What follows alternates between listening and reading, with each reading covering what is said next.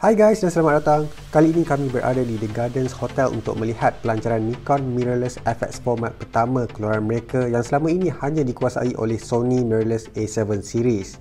Kini pengguna boleh dapatkan lebih banyak pilihan dan bukan terikat hanya pada Sony sahaja. Dari segi luarannya, ia terasa sangat solid walaupun bodinya semakin kompak tidak seperti di dalam gambar yang kami pernah lihat, ianya nampak kemas dan profesional.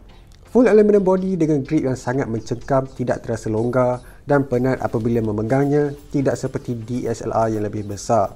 Dengan body kompak ini, Nikon memuatkan sensor CMOS 45.7 megapixel FX format ataupun dipanggil full frame sensor digunakan meluas dalam bidang fotografi. Saiz ini juga menjadikan flange length hanya 16mm minimum bagi mencapai piawai yang dimahukan ditambah pula dengan 5 axis in-body stabilization yang semakin popular di kalangan fotografi untuk dapatkan image yang kurang blur apabila menekan shutter.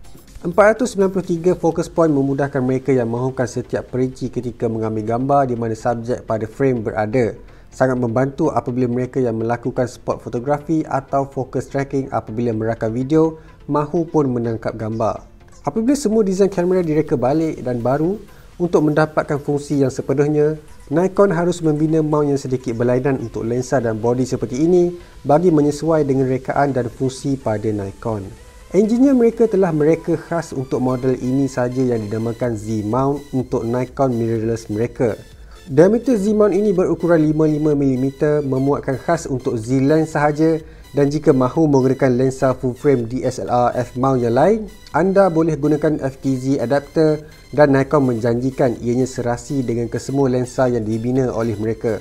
Selain itu, seperti mana-mana mirrorless camera, ia juga menggunakan electronic viewfinder baru iaitu Quad HD VGA OLED dilindungi kaca yang lebih senang untuk membersihkan kotoran pada EVF ini atau mahukan lebih praktikal boleh gunakan TFT Touch LCD screen yang boleh dipusikan 170 darjah dan yang paling penting ia memberi 100% frame coverage. Dengan kesemua teknologi yang disebutkan ini, Nikon lebih memandang kehadapan apabila Nikon Z7 ini mampu menghasilkan gambar resolusi 8K. Video pula ia mampu merakam sehingga 4K 30fps dan sehingga 120fps pada resolusi 1080p kepada mereka yang suka merakam video lebih sinematik.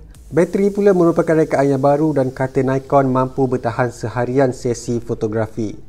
Jadi itu saja dahulu di sekitar pelancaran Nikon Z7 di Malaysia yang akan dijual pada harga bermula RM14,688 untuk body sahaja manakala RM17,858 bersama kit lens Nikon.